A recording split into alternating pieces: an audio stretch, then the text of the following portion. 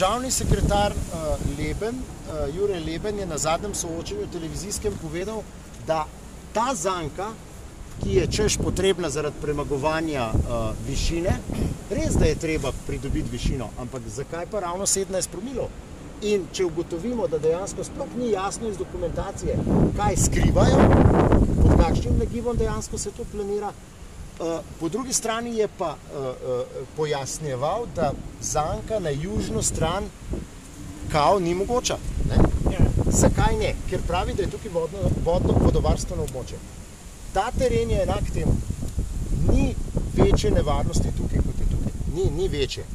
Je pa res, da je izvir Rižane v tem predelu je pa ožje vodovarstveno območje zaradi zajeti, treh zajeti, ne? ki pa naša trasa ne posega v njih, ker smo nad njo. Mi smo nad njo. Ne? Mi ne posegamo v ta sektor, ki je najbolj vodovarstveno ogrožen in ne, ne posegamo niti v ta del, niti v, v ta zgornji del.